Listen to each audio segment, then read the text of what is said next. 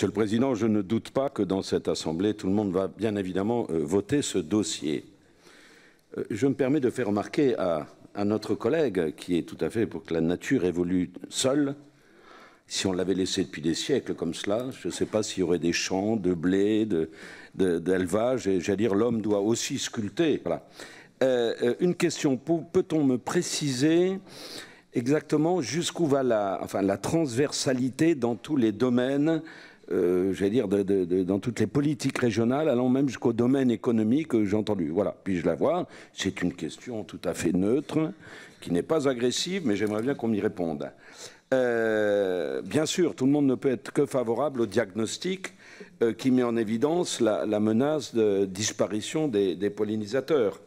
De même, on ne peut être que favorable au plan de préservation, si ce n'est de sauvetage de ces derniers. J'aimerais simplement rappeler que cette situation est notamment pour les abeilles le résultat de la politique d'une agriculture euh, intensive et des lobbies de l'industrie agrochimique et des pesticides.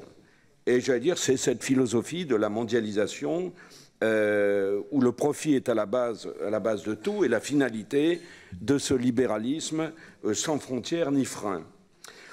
Le monde nouveau, en effet, d'Emmanuel Macron partage cette philosophie et euh, que le ministre de la, ben et que le ministre de l'Agriculture ouvre à nouveau cette boîte de Pandore en dit long. Alors, Monsieur le Président, vous êtes président de la première région agricole de France.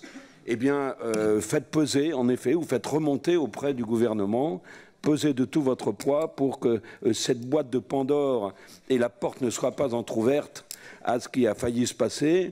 Très bien, le Premier ministre pour l'instant, mis au pas euh, en effet ce genre d'initiative, mais je crois qu'il faut être en effet prudent. Alors à vous, à vous de jouer. Je crois que c'est important parce que si nous ne sommes pas du reste que cette région, que la région Nouvelle-Aquitaine, mais plusieurs régions où les régions euh, font remonter cela, ben, peut-être que ça pourra avoir du poids. Je vous remercie. Nous voterons bien entendu ce dossier.